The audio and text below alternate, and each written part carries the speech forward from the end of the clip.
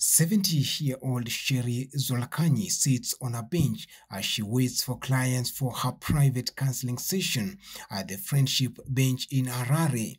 She speaks gently, offering accessible therapy with warm and reassuring smile. vanhu vari kushandi- vari kubatsirikana A lot of people are getting help here. The old and the young come here with their problems.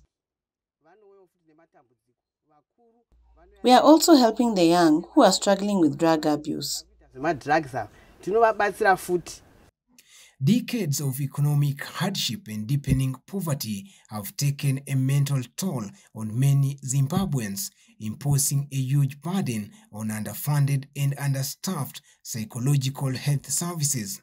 This is what forced a Zimbabwean doctor to come up with a novel way of providing desperately needed healthcare therapy for his poor countrymen by using lay healthcare workers referred to as grandmothers. Professor Dixon Chibanda's concept is simple.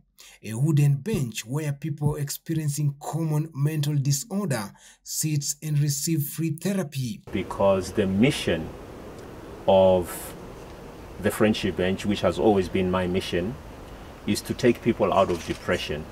But our big, ambitious uh, vision is to have a friendship bench like this within walking distance everywhere, not only in Zimbabwe, the whole world. The fallout from the COVID pandemic has seen a spike in mental health problems, and WHO estimates that more than 300 million people across the globe suffer from depression. The Friendship Bench has helped bridge a shortage of professional healthcare workers in Zimbabwe. The country has only 14 psychologists 150 clinical psychologists and less than 500 psychologist nurses serving a population of 16 million people. But now the therapy is being exported to FIFA World Cup in Qatar later this month. So at the World Cup, there will be 32 benches representing the competing teams. Uh, and this is a symbolic way of really illustrating the need for all of us, not only people attending the World Cup and not only the, the participating teams, but all human beings to find a way of connecting with each other. You know, and the The World Cup project in partnership with WHO, whose chief has praised the initiative as a simple yet powerful vehicle for promoting mental health.